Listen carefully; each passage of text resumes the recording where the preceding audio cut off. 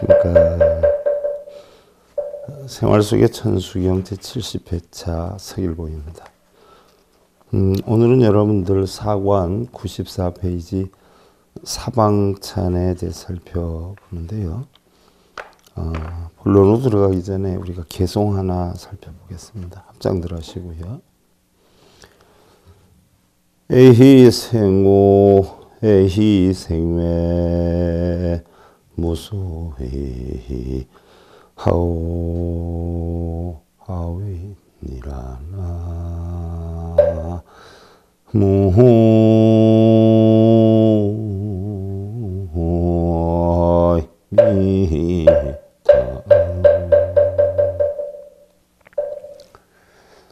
사랑하고 기뻐하는 데서 근심이 생기고 사랑하고 기뻐하는 데서 두려움이 생긴다.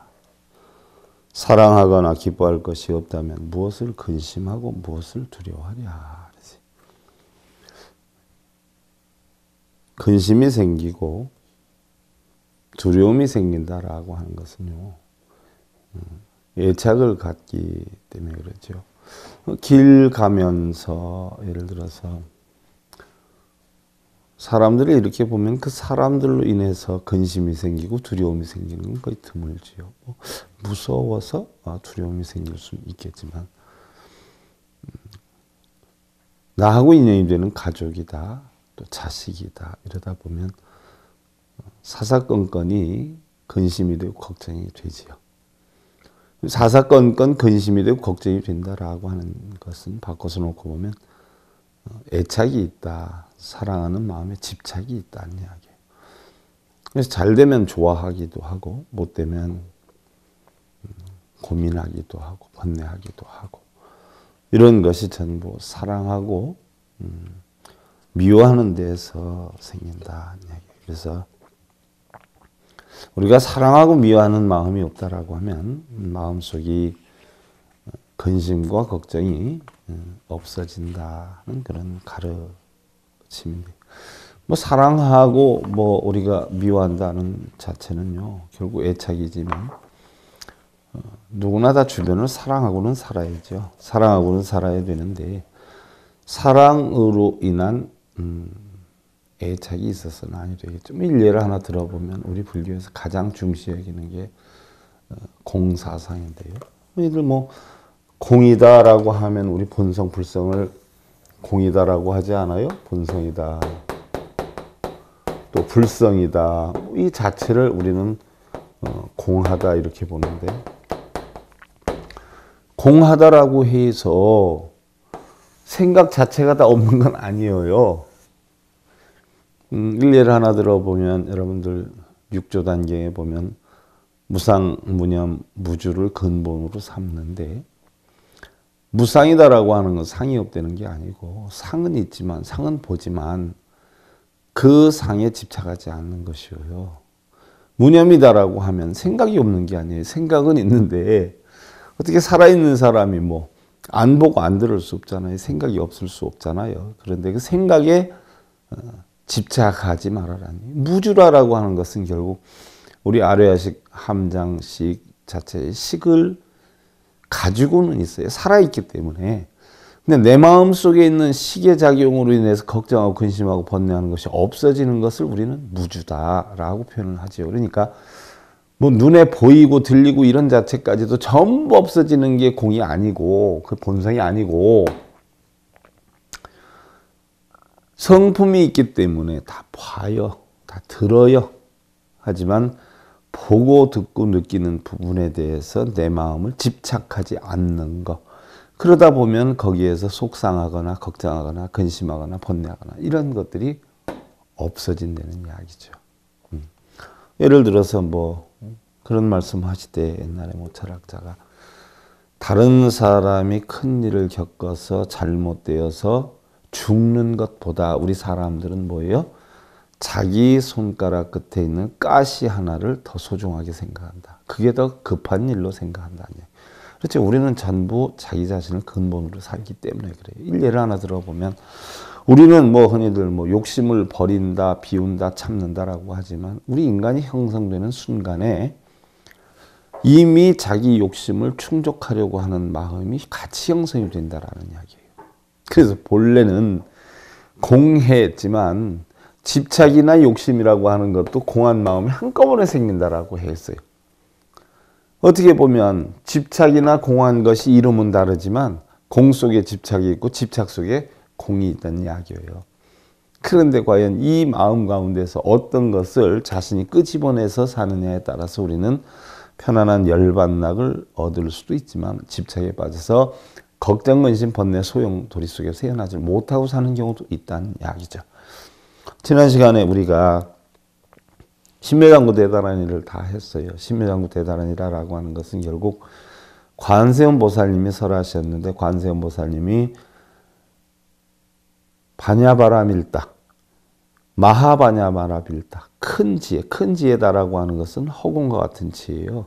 텅텅 비어있는 오니 공한 지혜로 저 언덕에 이르기 위한 바로 핵심적인 마음으로서 건너기 위한 핵심적인 말, 뭐 이렇게 표현할 수 있는데 오니 계공도 관자재 보살이 오니 계공도 일체구의 사리자라고 했어요. 사리자는 사리자 이야기를 하는 거고 오온이 일체의 공안이 이치를 알아서 일체 고통과 ig난을 건너게 되었다. 고통의 바다를 건너게 되었다.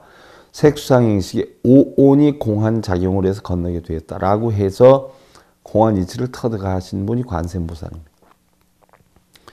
그럼 우리는 그런 오온이 공하려고 하는 이치를 배우자라고 하면 관세음보살님은 신묘장구 대단한 이경에서 로게세바라 라미사미나사야 나베사미사미나사야 모아자라미사미나사야라고 했어요.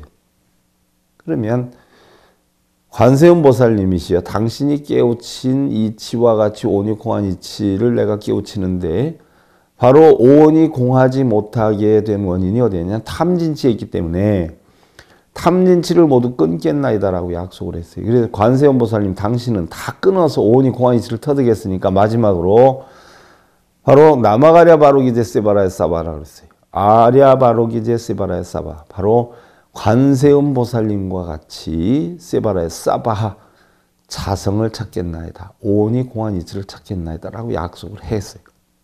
그리고서는 이제 도량찬으로 어, 사방찬으로 넘어와요. 그래서 바로 이 사방찬을 읽는 사람들은 사방의 부처님의 가르침을 통해서 먼저 자기 도량을 청정해야 된다.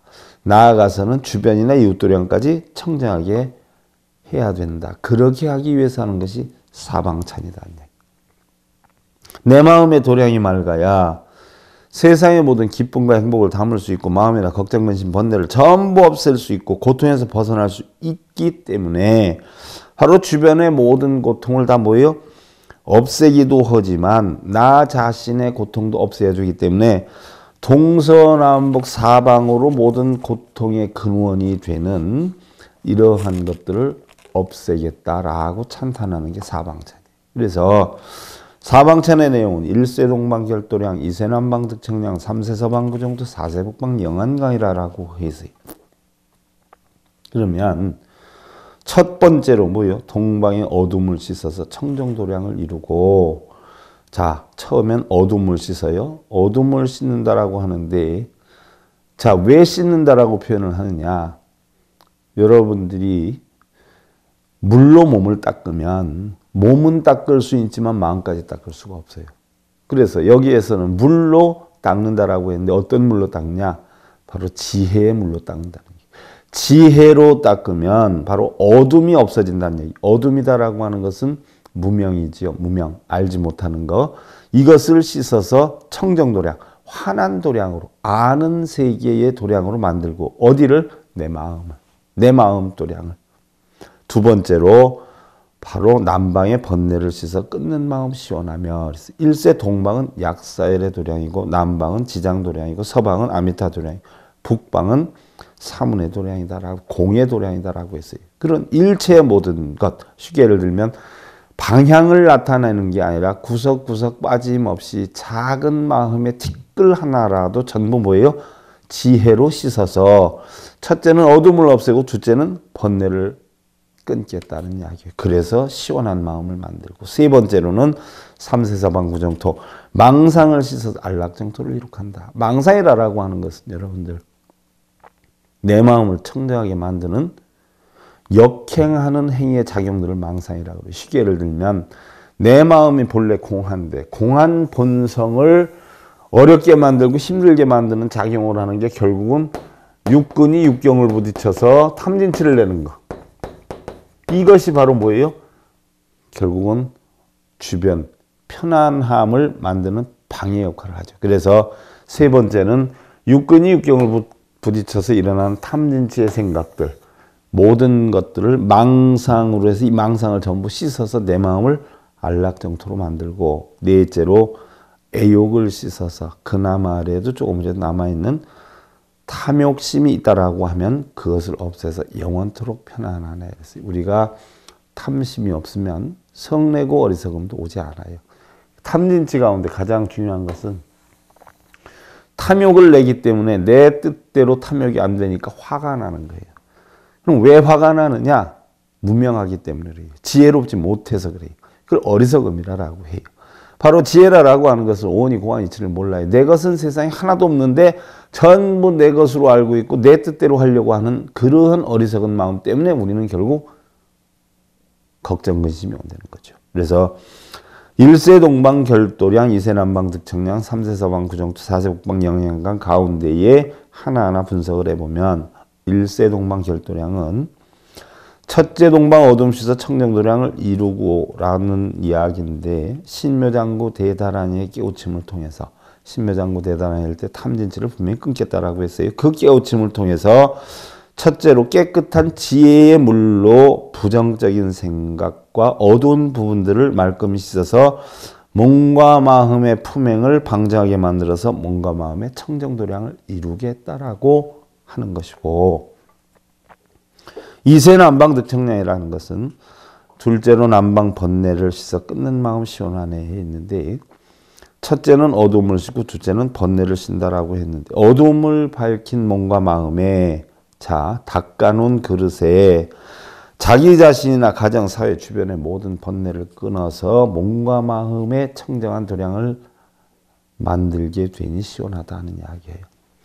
세 번째로 삼세서방 구정토는 셋째 서방 망상을 씻어 안락정토 이룩하고라고 해 있는데 그 청정한 도량 위에 눈기 코요 몸뜻이나 색성량 미촉법으로 인한 작용으로 형성되는 모든 망상을 버리고 괴로움을 떨구게 되니 바로 극락세계와 같은 편안함을 이루게 된다는 이야기고요. 네 번째로 사세 북방 영한강이라는 것은 바로 넷째로 북방에 애욕을 써서 영원토록 편안한 애인데 우리의 모든 번뇌와 고통은 결국 애증, 애욕, 소유욕에서 비롯이 되는 것이죠. 부처님께서 깨달음을 얻으시고 생이 생이 아니고 멸이 멸이 아니다. 전부 허망하다라고 표현을 했는데 바로 애증, 애욕과 소유욕을 부처님께서 버리셨기 때문에 애증, 애욕, 소유욕 내 것으로 만들려고 하는 마음이 없었기 때문에 설령 내 것이 안 된다라고 해도 거기에 속상함이나 슬픔이나 이런 것들이 없었다라고 해. 그래서 그분이 걱정, 근심, 번뇌하는 마음이 없었기 때문에 열받을 일이 없었기 때문에 바로 그분을 열반하셨다 이렇게 표현을 하는 것이죠. 바로 부처와 중생의 차이는 애증, 애욕, 소유욕이 있느냐라고 하면 그건 중생이고 애증, 애욕, 소유욕이 없다라고 하면 것은 바로 부처가 되는 것이다. 그래서 여러분들 흔히들 우리가 닦아서 부처님의 깨달음을 얻겠다라고 하는 분들은 닦아서 깨달음을 얻겠다라고 하는 마음 자체가 탐욕심이란 말이죠. 그럼 어떻게 돼요?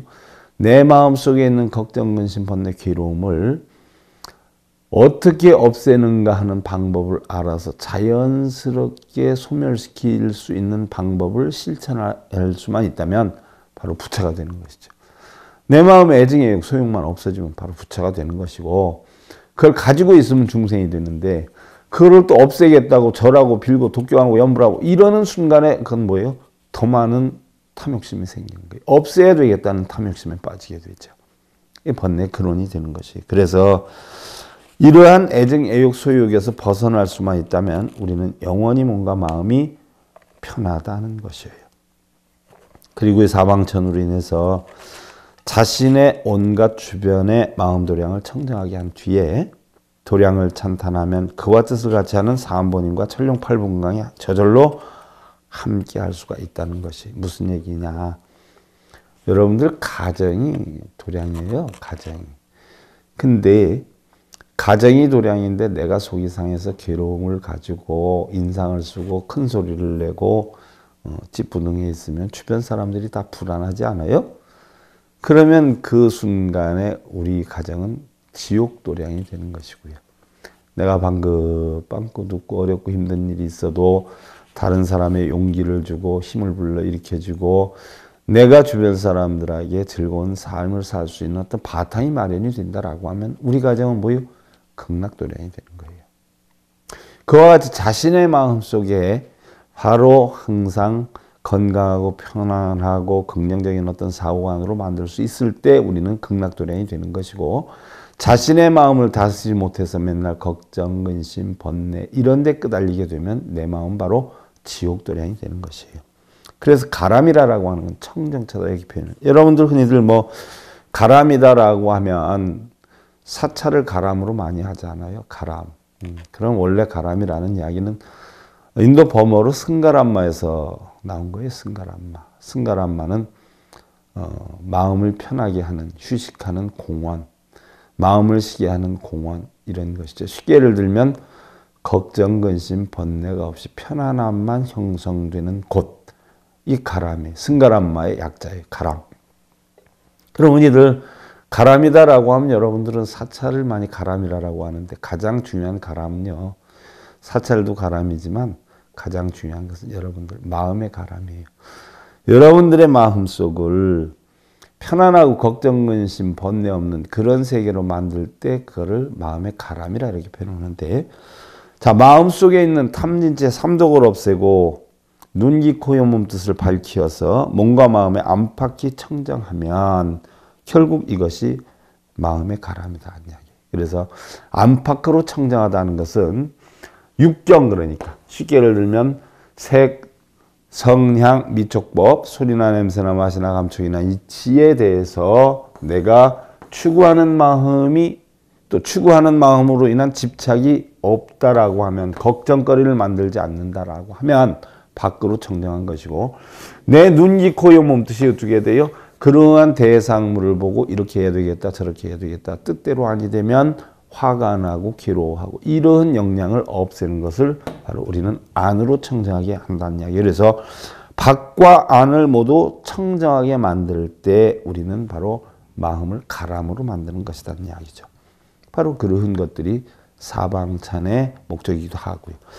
또한 자신과 온갖 주변의 마음 도량을 청정하게 한 뒤에 우리는 도량을 찬탄하게 되면 3번님과 철룡 8번님이 저절로 함께 할 수 있다라고 해 있는데 일례를 하나 들어보면 여러분들 일상생활에서도요 행복한 부부가 되려면 음, 주는 대로 받고 또 비추는 대로 비추이는 그런 산울림이나 거울의 이치를 알아야 돼요. 무슨 얘기냐? 산울림은 어떻게 돼? 내가 꼭 얘기하는 대로 돌아온단 말이죠. 이놈아 하면 이놈이 돌아와요. 저놈아 하면 저놈이 들어와요. 아, 나는 행복해. 그럼 행복이 돌아와요. 거울 또한 마찬가지. 내가 거울을 보면서 웃는 모습을 보이면 거울에서 웃는 모습이 드러날 것이고요. 내 거울을 보면서 우는 모습을 나타내면 거울에서 역시 우는 모습이 비추어지게 될 것이다. 이야기예요. 사막이나 눈 위에서는 음, 잘못하면 많이 미끄러진단 말이죠. 또 사막에는 차가 잘 못 나간다. 여러분들 모래백사장 같은데 단단하면 차가 다녀도 물컹물컹하면 차가 다니기 힘들지 않아요. 그럴 때는 바퀴에 바람을 좀 빼라 하는 이야기예요. 빼면 타이어가 음, 바람이 빠지면 잘 굴러간다는 이야기죠. 바로 그게 무슨 얘기냐. 나의 자존심과 고집 이런 바람에 어, 빼버리면 부부간에 편해질 수가 있고 서로 간의 상대를 고객으로 여길 때 어, 가장 존경하는 부부 사이가 될 수 있다라는 이야기예요. 일례를 하나 들어서 내가 가정에서도 편안함을 만들 수 있을 때 상대도 나에게 편안함을 준단 말이죠. 내가 상대에게 괴로움을 느낄 수 있도록 혐오감을 느끼게 말도 심산하게 하고 눈치도 심산하게 주면 온 가정이 시끄러워질 수밖에 없는 거예요. 집에 들어오기 싫어지고 그런 분위기가 조성이 되다 보면 아이들도 어떻게 돼 집에 들어온다라고 해도 각자 자기 방에 있게 되고 대화를 안 하려고 하고 이게 심하다 보면 밖에서 나돌고 안 들어오려고 하고 결국 이러한 것들이 전부 뭐예요? 자기 하나로 인해서 주변이 맑아지기도 하고 불편해지기도 한다는 이야기죠. 그래서 내 마음 도량을 잘 가꾸면 주변도 전부 가람이 되고 극락 도량이 된다는 이야기예요. 어떠한 일을 하든 어떠한 지위에 있든 알고 보면 대부분이 자신들의 이익과 자신들의 편의함만을 위한 이런 생각들로 가득한데 서로 생각과 마음이 같기를 바란다라고 하는 것은 사실은 쉬운 일은 아니죠. 하지만 그것이 바로 수행의 근원이다 하는 이야기예요. 우리는 뭐 흔히들 수행이다라고 하면 뭐 기도하고 연불하고 독경사경하고 절하고 이러면서 뭔가 자기 뜻대로 만들게 해달라고 어, 구원 요청을 하는 거 이런 것이 수행으로 알고 있는 분들이 많아요. 그래서 하다 보면 뭐 이루어지면 부처님의 가핀이 은총이 이런 이야기를 하는데 그건 수행과 너무나 동떨어진 이야기예요. 수행이라는 것은 결국 나를 비우고 버리는 것이 수행이에요. 내가 마음속으로 이루어야 되겠다, 음, 없애야 되겠다는 그 마음 자체를 버리는 게 수행이지 그 마음을 세워놓고 그걸 이루기 위해서 절하고 빌고 이런 것은 수행이 아니에요. 쓸데없는 짓이죠. 쓸데없는 짓. 그래서 우리 불교에서 수행은 바로 내 마음 속에 있는 삼독심을 버리기 위해서 개정을 하는 게 닦는다, 수행한다라는 것이고요. 바로 모든 걱정, 근심, 번뇌는 탐진치로 인해서 형성이 되기 때문에 그 탐진치를 끊는 것을 우리는 바로 끊는다라고 이야기를 하는 거죠. 자, 어디에선가 어렴풋 들려오는 풍경 소리 96페이지죠. 다른 파도 심장에 비치고 사람의 잔치는 끊기 듯한데 이 몸 산사에 의지하며 밤하늘을 쳐다본다. 관음지 촛불은 정하고 제각기 산들은 그대로인데 마음은 천지를 오가나 누가 밝힌 촛불인지 두 손 모아 그 마음에 합장한다라고 했는데 성스러운 부처님 떡 천지에 있어요. 그런데 천만 개의 부신들 어떻게 다 표현을 하겠느냐. 보이지 않는 룸비니 향내에 이제야 극한데 이 성스러움 어찌 작은 일인가. 향초, 잡초 섞였던 마음마당. 이제 옥석을 가려서 보관할 터. 농라이상 홍가사 부처님 뜻 길이지만 이 진우가 알려 우담바라 피는 이치 다시 또 향내네요. 흐르리 우담바라라고 하면 여러분들 3천년 만에 한 번씩 피는 꽃이라 그러죠. 흔히들 뭐 많이 나옵니다 영상에도 뭐 사찰에서도 뭐 우담바라라 해가지고 이렇게 끼일따락해서 뭐 이런 거 뭐 이렇게 꽃이 뭐 있는 것처럼 이런 이게 물잠자리 알이라 그러죠. 음, 물잠자리 알. 불상에다 이렇게 피어내는 물잠자리 알이라 그래요. 음, 과학적으로 조사해 보니까. 근데 이걸 우담바라라라고 해가지고 선전하는 분들 많아요. 음, 근데 우담바라라고 하는 뜻을 알아야 돼요. 우담바라. 우담바라는 뭐냐. 3천 년 만에 한 번씩 피는 꽃인데 진리의 꽃이라 그러죠. 그건 눈에 보이는 게 아니에요. 그럼 무슨 얘기냐. 3천 년 만에 한 번씩 깨친 자가 나타난다는 이야기예요. 그게 우담바라 꽃이에요.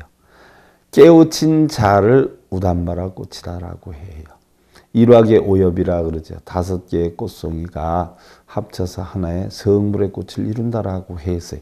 그와 같이 우담바라 꽃도 어, 실제로 있는 꽃이 아니라 우리 중생들이 부처가 될 만한 깨달음을 얻는 바로 깨달음의 꽃을 우담바라라고 해요. 얼마나 사람들이 무지해요. 그게 우담바라라고 하니까 또 그게 진짜 우담바라인 줄 알고 신기하다고 거기 찾아다니고 부자 된 절도 있잖아요. 몇 군데. 얼마나 어리숙해요. 우담바라라고 하는 꽃은 어, 우리 사람이 진리를 공부하다 보면 평균 약 3천 년 만에 한 명씩 깨우친 자가 나타난다 이렇게 했어요. 음, 그런 귀한 꽃이 우담바라 꽃이다는 이야기예요. 그래서 우담바라 피는 이치 다시 또 향내되어 흐르리라고 있는데 바로 부처님의 바른 진리를 깨쳐서 각자 마음에 우단바라 꽃을 진례꽃을 피우라는 이야기죠. 자, 여기까지가 여러분들 어, 천수경 4권이었어요. 이제 5권으로 들어가는데요. 생활 속의 천수경 5권. 어, 우리는 걱정 없는 날이 없고 부족함을 느끼는 날이 느끼지 않는 날이 드물고 어느 것 하나 쉬운 일이 없는 것은 지금의 삶보다 더 좋게 만들려고 하는 욕심으로 인한 마음의 번뇌 때문이 아닌가. 대부분의 우리는 가족을 위하고 자식이나 남편, 아내를 위한다라고 하지만 사실은 자신의 만족을 위한 줄다름이 아닌가 싶기도 하다. 자, 어떤 분들은 그래요? 가족을 위해서 절에 가서 열심히 기도한다라고 하는데 가족이 편안하려고 하는 거예요? 자기가 편안하려고 하는 거예요? 어떤 분은 자식이 지금 사시가 없어졌죠? 음, 사시가 없어졌는데 사시가 있을 때 얘기예요. 지금 로스쿨 뭐 돼서 사시가 있을 때 법대를 나왔어요. 한양대 법대. 근데 고등학교 때도 공부를 상당히 잘했다라고 해요. 하긴 뭐 충청도에서 한양대 갈 정도면 상당한 상위 그룹이죠. 상당한 상위 그룹. 그래서 법대를 갔는데 어, 4년 동안 사시를 했는데도 실패를 했다는 거예요. 그래서 그 보살님이 저한테 와서 스님, 아우 저는 기도 공덕이 하나도 없어요. 왜 이렇게 기도를 해도 안 돼요? 4년씩이나 했는데 속으로 제가 4년 정도 할 것 같으면 사시 아니면 행신대 싶어서 왜 사시 봐요? 그랬더니 예. 근데 왜 기도 공덕이 없어요? 네. 아 우리 아들이 자꾸 떨어지니까 그렇지. 그러면 우리 보살님 아들이 합격되면은 기도 공덕이 있는 거고 떨어지면 기도 공덕이 없는 거예요? 자, 그렇지요. 죽을 때까지 아들을 위해서 기도한다고 그 기도 공덕으로 아들이 합격되는 일은 없어요. 그랬더니 아 무슨 소리예요, 스님? 텔레파시적으로 다 그렇게 될 수 있다고 스님들이 얘기하는데요. 스님들이 다 얘기를 해도 부처님은 없다 그랬어요. 그럼 부처님이 거짓말하는 거예요? 스님들이 거짓말하는 거예요? 그런 얘기하는 스님들이 거짓말하는 거지. 예를 들어서 우리 보살님 배고파서 우리 아들이 배고파하는데 우리 보살님이 밥 먹으면 아들이 대신 배 부릅니까? 그건 아니지요. 기도도 똑같아요. 그리고 기도라고 하는 것은 자신이 뭘 어떻게 이루겠다라고 다져서 그거를 자기가 원성치를 하기 위해서 노력하고 다짐하는 걸 기도라 그러지 그냥 뭐 이루게 해주세요. 그건 미신이죠. 그건 기도가 아니에요. 불교적 기도가 아니에요. 근데 헛기도 한 거 아니에요? 그랬더니 예? 네. 아드님을 위한 기도는 아니었지만 우리 보살님을 위해서는 엄청 큰 기도 공덕을 우리 보살님이 받았어요. 아, 무슨 얘기예요? 아들이 그렇게 공부하는데 아들을 위해서 뭔가 마땅히 해줄 만한 게 없는데 기도를 열심히 하면 되겠다 싶어가지고 우리 보살님 쇠가 빠지게 4년 동안 기도했잖아요. 그러면 그 기도하면서 아들이 편했어요? 우리 보살님이 편했어요? 그랬더니 아 그거야 뭐 그럼 그 기도를 아들 좋으라고 했어요? 우리 보살님 좋으라고 했어요? 보살님 위해서 기도한 거잖아. 그거 안 하면은 못 견딜 것 같아서 그거 해야 좀 속이 편안해서 그럼 우리 보살님 속 편하라고 했으니까 우리 보살님 속은 편안하잖아. 그럼 기도 공덕이 얼마나 있는 거예요, 그게. 그럼 그 기도는 아들을 위해서 한 게 아니라 결국 보살님을 위해서 했는데 왜 기도 공덕이 없어? 아들한테는 안 돌아갔지만 보살님한테는 엄청 크게 왔어요. 아마 보살님 4년 동안 그 안 매달렸으면 아마 미쳤을걸요? 그니 얼마나 큰 기도 공덕이에요. 음. 어찌 보면 우리는 각자 스스로 정해놓은 원칙에 만족하기 위한 수단으로 어려움을 자초하는지도 모른다. 그래서 자기가 원칙 정해놓고 그 이루기 위해서 매달리고 빌고 절하고 쓰고 앉아서 가부좌 들고 그게 다 자기 욕심이죠. 버리고 비우려고 하는 게 아니잖아. 그걸 하는 데는 뭔가 목적이 있잖아. 자기 뜻이 있잖아. 그럼 그거는 뭐예요? 탐욕심이에요. 마음속에 바라고 하는 마음을 버리는 게 결국 비우는 거고 결국 공의 이치 찾아가는 거고 깨달음의 길로 가는 거지 자기 욕심 채우려고 가는 게 깨달음의 길이 아니에요. 어렴풋 산까지 소리 고개 돌려 산사를 돌아보니 그동안 느끼지 못했던 고향의 정겨움이라 퇴색된 풀밭 따라 내 길을 오르려니 어제 걷던 고향의 향수로다. 아, 내가 촌에서 컸어요. 그러니까 이 절에서도 촌에 생활하다 보니까 비슷하지요. 어느 덧 머리는 휘었어도 마음은 바래지 않았는데 그죠? 이젠 머리가 하얘요. 근데 마음은 아직 젊어요. 풍경 소리 향나음에 모든 것 던져버린 대장부의 삶. 저도 한때는 꿈과 야망이 있었어요. 결국은 다 접었고 어, 접었다는 자체가 결국 뭐예요? 쓸데없는 탐욕심을 버렸다는 거지요. 어떻게 보면 뭐 꿈을 버렸다, 희망을 버렸다라고 바라볼 수도 있는데 바꿔서 놓고 보면 뭐예요? 어, 탐욕심을 버렸다 이렇게 놓고 볼 수도 있죠. 내일도 이러할 뿐 천만의 보배나 금빛의 명예도 원래 비어있던 빈 창고가 아니었던가. 원래 비어있던 공이 아니었더냐는 이야기죠. 뜬구름 인생 몇 날이나 남았으리 귀 밑에 신실랏 늘어도 바쁘고 한가함 서로 다르니 언제 다시 분별 없이 한 법 속에 앉을고 분별 없이 한 공한 상태로 부처님의 법담을 하면서 어떻게 앉아 있을까 하는 이야기예요. 뭐 어, 일반 대중들도 그렇지만 승려들도 보면 자기 욕심들이 꽉꽉 차 있잖아요. 그러니까 과연 비어 있는 마음의 사람들끼리 만날 때가 있을까 싶은 생각이 안타까워서 분별 없는 한 법석에 앉을 거 그랬어요. 구름과 물의 흐름 다를지나 그렇죠. 구름과 물의 흐름은 다를 것이지요. 그러나 없어지는 건 어떻게 다르겠어요? 저승 가는 길이 어이 다르다 할 것인가? 하얀 꽃잎 흩어지는 밤 아픈 마음만 허공에 메아리치네.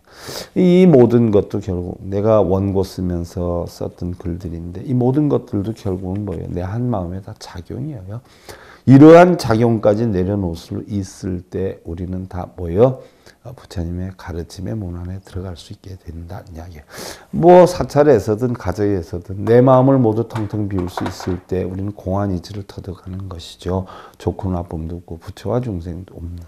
부처와 중생이 있다라고 하더라도 거기에 끄달리지 않는 이런 마음을 지닐 수 있을 때 우리는 늘 편안한 삶으로 갈 수가 있을 거죠. 이것을 우리 불가에서는 열반의 삶이다 이러는데 다음 시간부터 여러분들 본격적으로 제5권의 1장 도량을 청정하게 내용에서부터 살펴보고요. 잡장들 하시고요. 시박조 애요애증학소 유라 이제 박결 자여 무해무 소정이 미가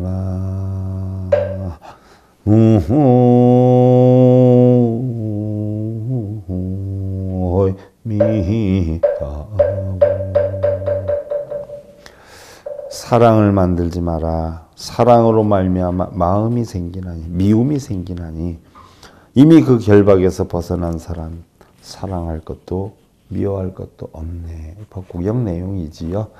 어, 사랑하지 않으면 미워함도 안 와요. 사랑하기 때문에 미워함이 와요. 자식이든 남편이든 아내든. 사랑하기 때문에 염려가 되고 내 뜻대로 하려고 하고.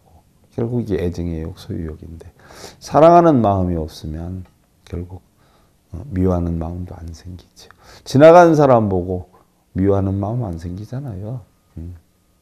애착 때문에 그렇다. 애착을 내려놓을 수 있을 때 사랑은 하되 어떻게 돼요? 미워하지 않으면 돼요. 사랑만 하면 돼요. 이러한 삶을 여러분들 편안함 이루시고요. 어, 생활 속의 천수경 제 70회차 서일봉이었습니다.